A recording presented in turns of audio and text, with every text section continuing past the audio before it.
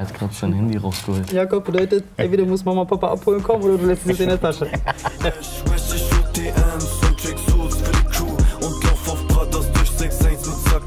Kein Bock, kaum Zukunftsperspektive, wenig Förderung. Über Hauptschulen gibt es super viele verschiedene Vorurteile. Justin ist Hauptschüler und ich darf ihn heute einen Tag lang begleiten. Ich möchte herausfinden, was an den Vorteilen dran ist, was Justin bewegt und was seine Träume und Ziele sind. Moin, ich bin Jakob. Ich bin Justin. Freut mich. Ja, danke, dass wir äh, hier sein dürfen und einen Tag mit dir verbringen dürfen. Was machen wir heute? Wenn wir zuerst in meine alten Klasse gehen, dann gibt es noch eine Judo-Stunde für dich, da bin ich aber nicht dabei. Und dann am Ende zeige ich dir noch ein paar Tracks von mir. In welcher Klasse bist du denn? Äh, Ich bin jetzt wieder in der 9., also in dieser Klasse, meiner alten Klasse. Und sozusagen bis zur 9. bin ich da geblieben. Und dann muss ich wieder mal. Wie ist das für dich? Das ist sehr schlecht auf jeden Fall, weil mit der Klasse haben wir halt alles zusammen gemacht. Und jetzt ist es halt ein bisschen komisch, dass ich in einer anderen Klasse bin. Ja. Versuche mich jetzt auch ein bisschen dran zu gewöhnen. Das ist mein alter Klassenraum. Da schreiben wir halt die Klassenarbeiten drauf. Unsere Termine, Abschlussarbeiten Aha, okay. und Ausflüge, die wir machen. Und da sind die ganzen Bilder von uns, auch zusammen mit der Klasse. Ah, schön. Du bist auch noch überall drauf. Genau, ich bin auch immer überall drauf. Kommst du denn noch oft hier in deine alte Klasse? Ja, ich hole meine Freunde ab und dann gehen wir zusammen in der Pause zusammen. Wie ist das jetzt in deiner neuen Klasse? Die reden zu viel dort. Wie meinst du das? Die reden einfach zu viel, mitten im Unterricht. Ach so, okay. Ja, ja. Wo ist denn dein alter Platz? Gleich hier vorne. Hier, okay, Genau. schön. Letzte Reihe, ja? Ja. Wie war das denn für dich, als du erfahren hast, dass du auf eine Hauptschule gehst? Das war erstmal nicht so toll für mich, weil ich habe sehr viel Schlechtes gehört. Was hast du denn so über Hauptschulen gehört? Dass es hier jeden Tag Schlägerei gibt und so weiter. Viel Hausaufgaben und die Lehrer halt streng sind. Wie ist die Realität? Wir haben hier sehr coole Lehrer auf jeden Fall.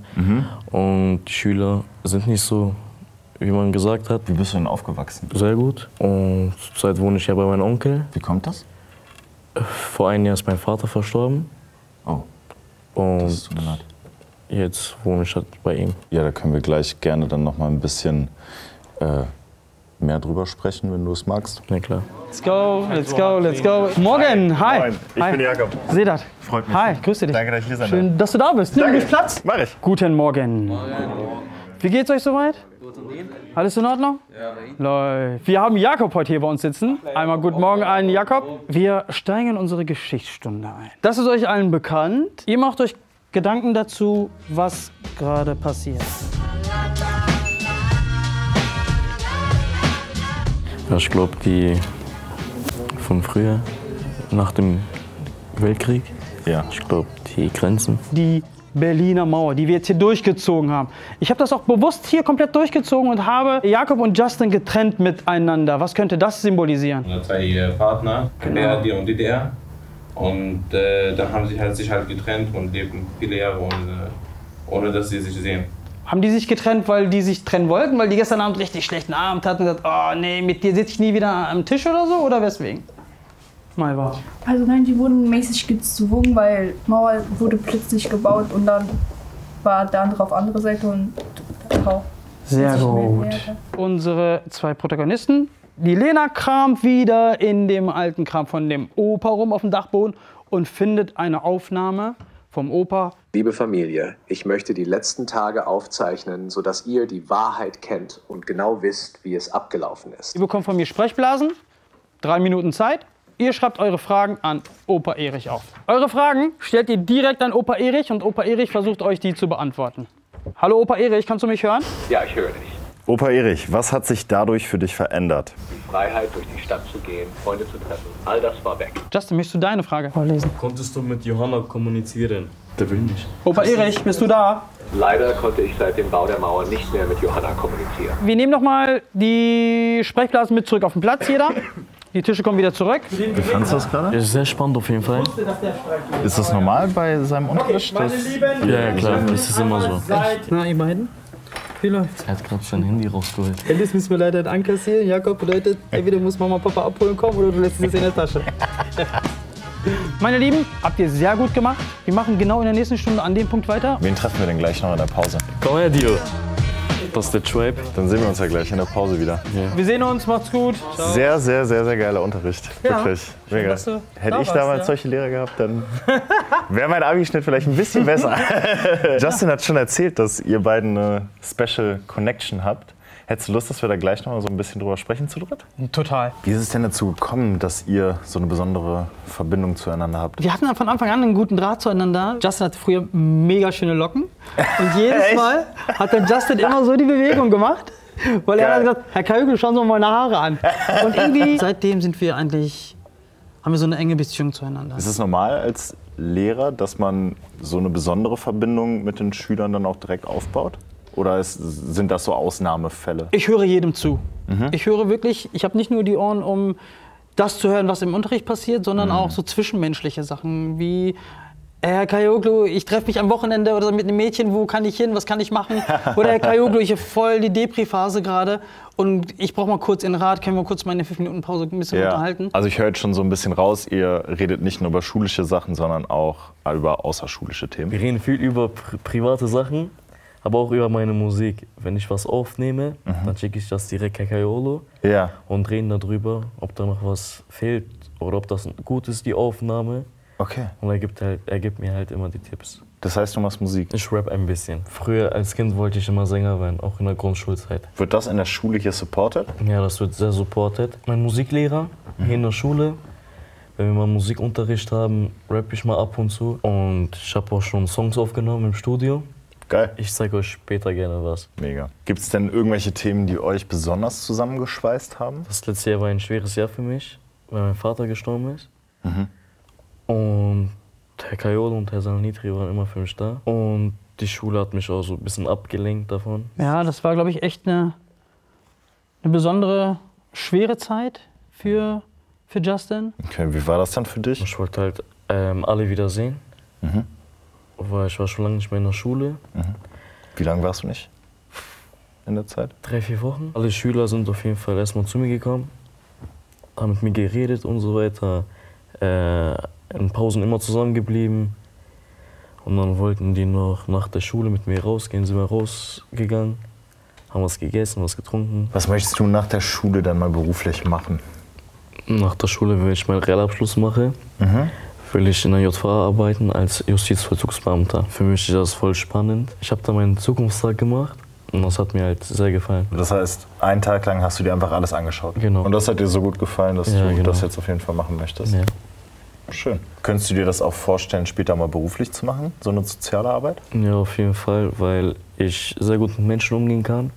Ich helfe gern weiter. Ich muss ihnen was zurückgeben auf jeden Fall und das macht mich stolz, weiterzuhelfen. Zum Beispiel, ich arbeite im Jugendclub. Die können da Kicker spielen, Billard spielen. Mit den Kleinen gehen wir zum Beispiel jetzt in, in die Stadt ein Eis essen. Und mit den Großen gehen wir dann schwimmen. Ich helfe bei den Hausaufgaben auch. Würdest du sagen, dass es Jugendclubs braucht, so als Zufluchtsort für Kids? Es ist total wichtig. Also anschließend nach der Schule nochmal irgendwo Anschluss zu bekommen. Würde es aber nochmal erweitern mit sportlichen Aktivitäten, würde vorschlagen, dass die Kinder auch Alternativen haben nach dem Unterricht. Weil aktuell ist es halt so, dass die Beteiligung nach der Schule eher gering ist. Und das sind halt solche Möglichkeiten, wo die Kids dann nicht unter so einer Beobachtung die ganze Zeit zusammen sind, sondern die sind frei, die können so sein, wie die sind. Finde ich sehr wichtig, da die soziale Kompetenz auch geprägt wird und auch der Perspektivwechsel, der dann da stattfindet. Weil ich kann mir vorstellen, dass einige eventuell vielleicht in ihrem Leben ganz gering mal einen Ausflug an Orte machen, an die sie im Regelfall nicht hinfahren. Ungefähr vor zwei Jahren haben wir mal die, die Judo AG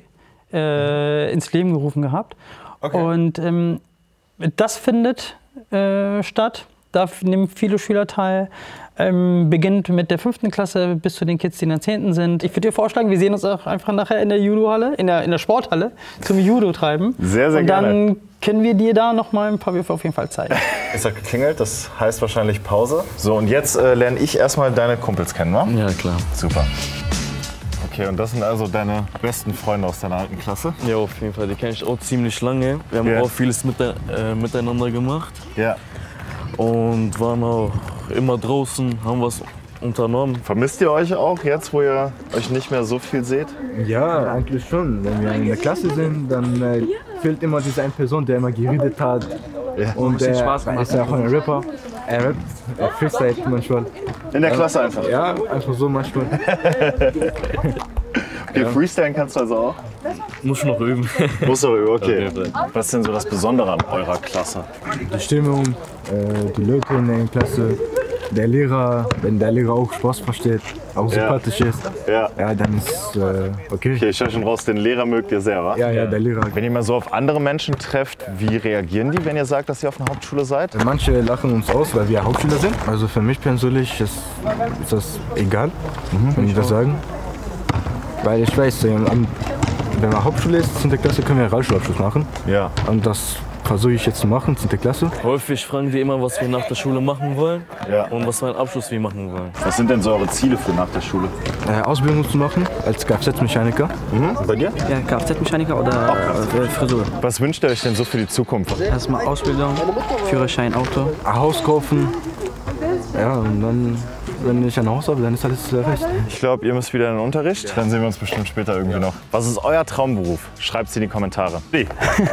Let's go. Wir gehen Jetzt in die. Sporthalle. Zum Judo. Ich habe den Judo-Anzug schon für dich zur Seite gelegt. Warum bist du denn Hauptschullehrer geworden? Tatsächlich komme ich selber von der Hauptschule. Was die Kids hier durchleben, im Groben und Ganzen habe ich das Ganze auch alles durchgelebt. Wie sah denn deine Schulzeit aus? Ich hatte echt schwierige Momente, vor allem die Anfangszeit, sprachliche Schwierigkeiten, die da waren. Aber ich wurde eigentlich schnell aufgenommen. Also ich hatte nie das Gefühl, irgendwie nicht Teil vom Ganzen zu sein. Gab es denn irgendwie so Sachen, die du damals in deiner Schulzeit vermisst hast? Ich hätte mir oder hatte mir dann irgendwann mal auch gewünscht, auch mal ein bisschen mit meinen Lehrkräften ein bisschen mehr zu tun zu haben. Auch zu spüren, dass die Lehrkraft eigentlich, ey, der ist auch nur alles aus Fleisch und Blut, ne? so Ja, ja. wie ich und gar nicht abgespaced. Hattest du denn damals auch irgendwie mit Vorurteilen zu kämpfen als Hauptschüler? Bei Bewerbungsverfahren zu einem Praktikum zum Beispiel, damals in der Zeit, da bin ich hinter den Betrieben her und habe mich da echt bei jedem Einzelnen vorgestellt, aber es war schon schwierig. Wie versuchst du denn hier als Lehrer die Vorurteile aufzulösen? Ich lebe immer so ein bisschen nach dem Motto oder gebe den Kids das auch so mit, irgendwie, wenn du möchtest, dass dich, also dass sich etwas ändert, dann bist du immer die erste Person, die sich dann verändern muss. Agiert nicht als Klischee. Geht nicht in die Welt hinaus und sagt, ey, ich bin nur ein Hauptschüler und die akzeptieren mich so oder so nicht. Absolut nicht. Wenn du dich so verkaufst, dann verkaufst du dich unter Wert. Verkauf dich nie unter Wert. Übernimmt man sich da nicht manchmal auch so ein bisschen emotional? Ja, tatsächlich schon. Es ist halt immer so, dass man so eine gesunde Grätsche machen muss zwischen Ja. Arbeit und privatem Leben. Man muss so, so ein Gefühl dafür entwickeln, Mhm. so charakterlich. Okay, wie, wie sehr will ich auch das Emotionale an mich rankommen lassen? Ja. Weil auch wenn man will, kann man halt irgendwie nicht die ganze Welt retten. Wie siehst du denn die Chancengleichheit hier in Deutschland? Ja, die ist natürlich unterschiedlich. Jeder bringt so unterschiedliches mit. Die Sprache, die Herkunft, die Art, wie man ist als Mensch, ist halt komplett unterschiedlich. Aber ich sehe auf jeden Fall, dass eine, eine gewisse Chancengleichheit auch besteht. Dass da echt gewollt ist, dass jeder mit den gleichen Bedingungen so in den Ring steigt. Vor allem auch an unserer Schule. Wir unterscheiden da nicht zwischen, okay, das ist mein Favorite und mit dem arbeite ich nicht so gerne. Sonst hätten wir uns, glaube ich, nicht für diesen Beruf entschieden gehabt. Ja. Inwiefern hebt sich das Konzept Hauptschule denn von den anderen Schulkonzepten ab? Das große Merkmal, der große Aspekt an Hauptschulen sind, ist die individuelle Förderung. Also ich glaube, wenn man jetzt im Großteil irgendwie sagen würde, okay, alle Hauptschulen werden heute geschlossen, das wäre ein Riesenverlust, weil die individuelle Förderung, die hier bei uns stattfindet, ähm, ist immens. Was wünschst du dir denn für deine Schülerinnen und Schüler so für die Zukunft? Die sollen die Bereitschaft haben, auch nach mehr zu greifen, weil tatsächlich, die sind alle so rein im Herzen und so liebe Menschen, so liebe Kinder, die unterschätzen sich selber sehr oft. Unsere Sporthalle, ja, Hochzeit machen wir später. Judo-Gürtel, Ja. Hose und einmal Und die Jacke dazu. Bis gleich. Ich habe Judo tatsächlich noch nie gemacht, Freunde. Ich bin sehr gespannt, wie das jetzt wird. Gut siehst du aus. Danke, gleichfalls. Ich würde sagen, wir begeben uns auch direkt auf die Matte. Warum habt ihr euch denn hier ausgerechnet für Judo entschieden? Ja, das Ganze ist so ein bisschen entstanden, weil ich ja selber aus dem Judo-Sport komme. Viele haben eigentlich diesen Drang danach, sich kräftemäßig zu messen und auch den Körperkontakt aufzubauen zu anderen Schülern, Ja. den die ja eigentlich im Rahmen des normalen Unterrichts nicht haben. Aber hier dürfen sie ihre Kräfte mal zu Vorschein bringen, hier dürfen sie Kontakt haben, hier dürfen sie mal jemanden richtig umarmen. Heute soll unser Schwerpunkt sein, wie werfe ich meinen Partner. Ich schieße meine Hüfte rein und knocke ihn seinen, seinen Schwerpunkt aus. Und dann liegt er da oben drauf. Und dann runter.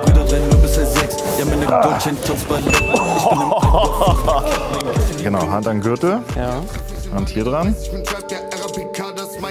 So, rüber. Ja. Sehr gut. Ja, sehr gut gemacht. Stark. Dankeschön. Wir holen Justin einmal ab und gehen einmal in den Musikraum einmal rein. So, das ist der Musikraum, ja? Genau, ja. Was verbindest du damit? Hattest du hier schon mal Auftritte oder sowas? Ja, ich hatte hier tatsächlich schon Auftritte. Ja. Und es waren hier volle Leute, Eltern und Lehrer. Ich war sehr nervös auf jeden Fall, aber nach einer Zeit ging's. Worüber schreibst du Texte? Ich schreibe über Liebe, Hass ein bisschen. Liebe und Hass. Woher bekommst du denn die Ideen beim Texte schreiben? Ja, aus dem echten Leben, aber manchmal packe ich noch was dazu, was nicht stimmt. Und dann packe ich das halt alles zusammen.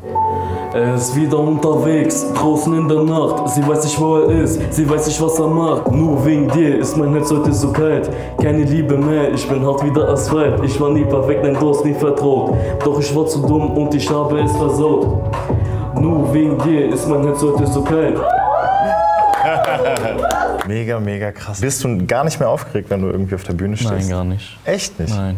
Was bedeutet Rappen denn für dich? Wenn ich das tue, fühle ich mich irgendwie besser so. Hast du denn einen Künstlernamen? Äh, Gan, G-A-N, weil äh, das war früher mein Vaters Spitzname und jeder hat ihn so genannt. Krass. Und den habe ich jetzt. Was sind denn so deine Wünsche und Ziele für die Zukunft? Dass ich einen guten Abschluss mache auf jeden Fall und eine Ausbildung in der JVA machen kann. Justin, ich danke dir für diesen Tag. Ich finde es auf jeden Fall äh, übertrieben krass, was ihr für so einen Klassenzusammenhalt habt und auch diese emotionale Verbindung, die ihr zu euren Lehrern habt, wie krass die für euch da sind. Ja, Das auf jeden kommt Fall. mir auf jeden Fall extrem besonders vor. Ich hatte sowas nie auf meiner Schule. Jede Schule ist anders. Ja, gut gesagt. Schreibt in die Kommentare, was euer Traumberuf ist. Nicht vergessen zu liken und zu abonnieren. In diesem Video hat Gizem, Seskin und Philly kennengelernt, die mit zwei verschiedenen Kulturen aufgewachsen sind. Und in diesem Video haben unsere Kollegen von Reporter Jonas kennengelernt, der in seiner Schulzeit gemobbt wurde, weil er queer ist. In diesem Sinne, tschüss, Freunde.